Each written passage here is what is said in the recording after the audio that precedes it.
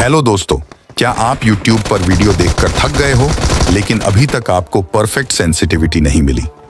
तो आज मैं ऐसी सेंसिटिविटी बनाने वाला हूँ, जो सभी एंड्रॉयड डिवाइस में वर्क करने वाली है।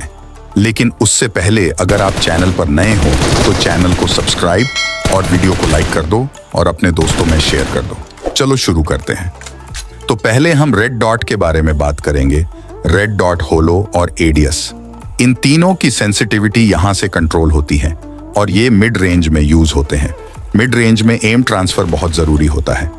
300 पर रखने से एम ट्रांसफ़र नहीं हो रहा है। 400 फुल रखते हैं फुल रखने पर बहुत अच्छे से एम ट्रांसफ़र हो रहा है। अब 3x और 6x को सेट करते हैं, क्योंकि इन दोनों की सेंसिटिविटी सेम होती है।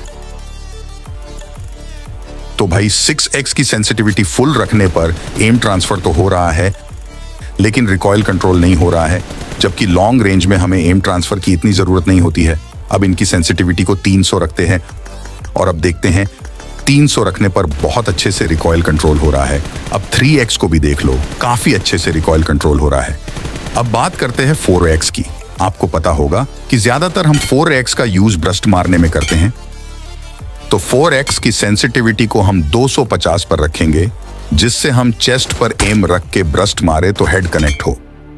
तो आप इस सेंसिटिविटी का स्क्रीनशॉट ले लो। आपको डिस्क्रिप्शन में कोड मिलेगा, वहाँ से भी यूज़ कर सकते हो। तो मिलते हैं नेक्स्ट वीडियो में। बाय